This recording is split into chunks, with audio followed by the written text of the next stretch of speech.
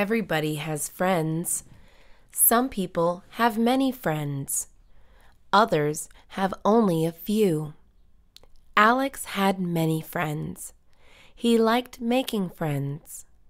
Every day he made new friends. Alex was good at making friends.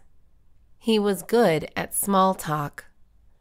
He was not at all shy. Alex made friends everywhere he went. He made friends at the store. Shopping for food? He asked a stranger. I sure am, the stranger said. Alex continued talking to the person. He had made a new friend. He made friends at the bank. Making a deposit? He asked another stranger. Yes, sir, the stranger replied. A conversation followed. Making friends was easy for Alex. He was a friendly guy. Everybody who knew Alex liked him. Everybody that Alex knew was his friend. Alex did not know any strangers.